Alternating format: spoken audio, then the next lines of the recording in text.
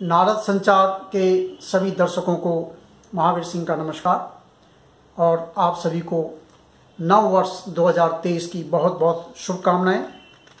आज इस खास वीडियो में हम बात करना चाहते हैं एक अलग तरह के कार्यक्रम की, जो कि इस समय दिल्ली के गढ़वाल भवन में चल रहा है।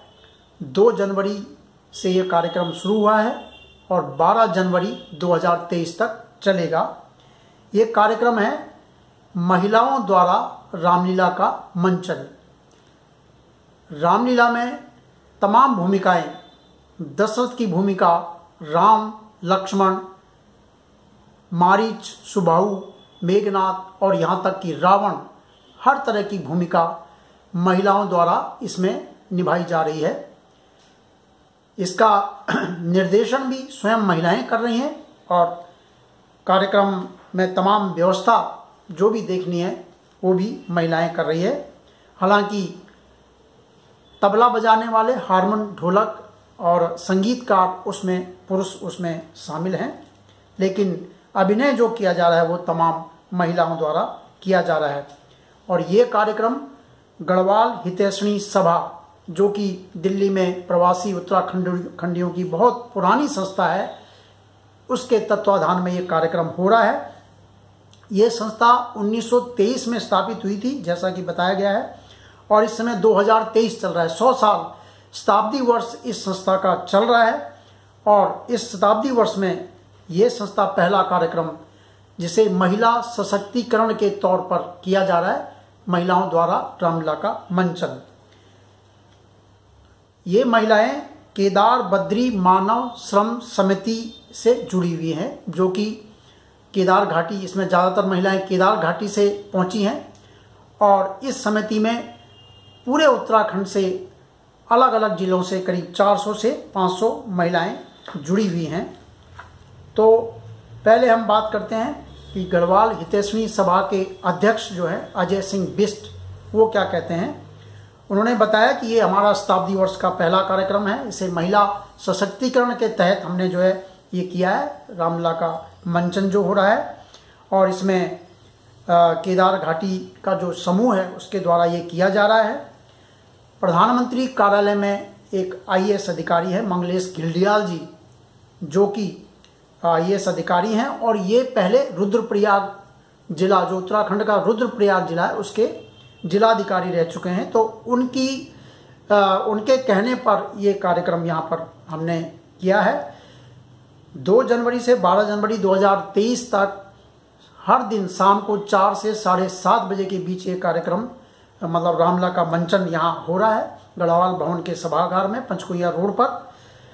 और उन्होंने ये बताया कि अजय सिंह बिस्ट ने बताया कि ये महिलाएँ और भी मतलब जो स्वरोजगार के तौर पर भी अन्य कार्यक्रम करती हैं, जैसे कि केदार नाथ मंदिर में जो प्रसाद जो चढ़ाया जाता है उस प्रसाद को इन महिलाओं का समूह तैयार करता है, जिसमें चुलाई है, लड्डू है, गंगा जल, बेलपत्र आदि तमाम जो प्रसाद के रूप में चढ़ाए जाते हैं, वो ये महिलाएँ तैयार करती हैं।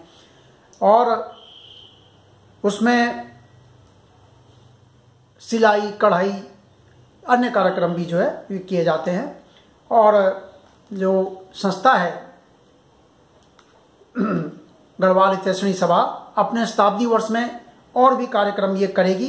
अजय सिंह जी ने बताया कि स्वास्थ्य जागरूकता के कार्यक्रम ग्रामीण इलाकों में किए जाएँगे। ये ग्रामीण स्वास्थ्य मिशन के तहत जो है ये कार्यक्रम होंगे और ग्रामीण इलाकों में स्वरोजगार के भी कुछ तौर तरीके, नए मार्ग जो है उनके बारे में, चर्चा होगी। इस तरह की सभाएँ की जाएँगी।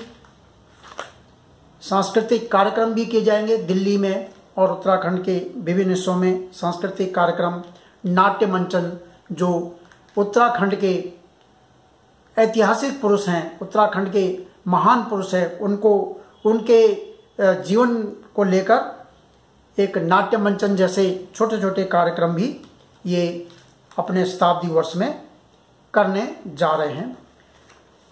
केदार बद्री मानव श्रम समिति के जो अध्यक्ष हैं राजेंद्र नेगी, उनसे भी हमने बात की। तो उन्होंने बताया कि इस संस्था को 2009-10 में स्थापित किया गया और करीब तमाम जिलों से रुद्रप्रयाग हो गया, चमोली हो गया, अल्मोड़ा हो गया नैनीताल हो गया, आपके चमोली पौड़ी हो गए 400 से 500 महिलाएँ उनसे इस संस्था से जुड़ी हैं। और जो रामला का जो मंचन है, उसमें 60 से लेकर पैंसठ महिलाएँ सक्रिय रूप से उसमें अपनी भूमिका निभा रही हैं। ये हर्बल धूप का भी उनका एक प्लांट है, कहते हैं कि ये हमारा रुद्रप्रयाग में। वहाँ पर करीब साठ से पैंसठ महिलाएँ काम करती हैं और धूप अगरबत्ती जो है, तैयार करती हैं।